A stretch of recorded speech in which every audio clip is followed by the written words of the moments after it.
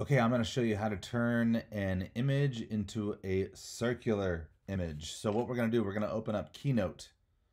Going ahead and go into your Mac, click Keynote. Let's do New Document. We're going to do Basic White. We're going to delete this junk. By default, I always just change this slide size to 2000 to 2000 just because I like a nice big square to work with. What I'm going to do now is I'm going to drop in an image that I want to turn into a circle. Okay. And then what I'm going to do, this is real simple. You're going to love this. All I do is go here, format, and then I'm going to format. What am I going to format? I'm going to format the image. Don't format the mask. Mask with shape.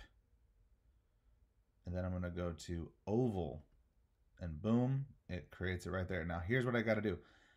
This is where I get to size the image. It's important to keep the proportions of this perfectly circular. So what you can do is just hold the shift and then drag it. It doesn't matter where I move my cursor, it's gonna keep the proportion correct. Otherwise, what's gonna happen is I'm gonna drag it up and I'm like, oh shoot, I gotta resize it. Wait, 324 by three, and then I do that whole game and that's really annoying. Anyway, hold the shift and it's gonna be a lot easier.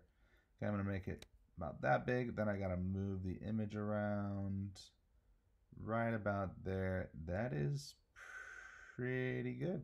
Then I hit done and boom, voila, that is all. Now, if I want to change this, what I'm going to do is I click the image, go to format, go to image, edit mask, and then it appears again and I can, well, you know what, I want to turn this into an oval because I'm a freak. Um, that's nice. Or, um, you know, you can do lots of different weird things. I don't know. Anyway, so that's what, how you do that. Now, um, what I'm going to do is I'm going to copy this to save the image. I'm going to copy it. I'm going to open up the preview app. And then what I'm going to do is I'm going to click File and New from Clipboard. By the way, before I did this, I copied this. I did Command C, or you can just hit Copy here. Open this up. File, New from Clipboard. Clipboard. Boom, the image shows up.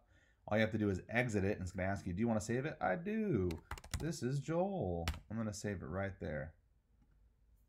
And there's Joel right there. Now, if I want to save that as a PNG so that there is no uh, background color or background at all, what I can do, go here again, copy it, new from clipboard, and I'm going to change this file format.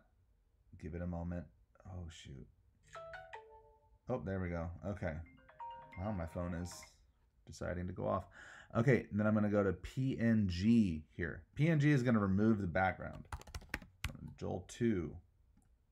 There, it's not going to have a background now. Preview it. There it is. No background. I can slap this sucker on anything, and there's not going to be a white background. It's just my circular noggin. I hope this was helpful. If it was, please like, subscribe, and share, and Please feel free to ask any questions in the comments. Thank you.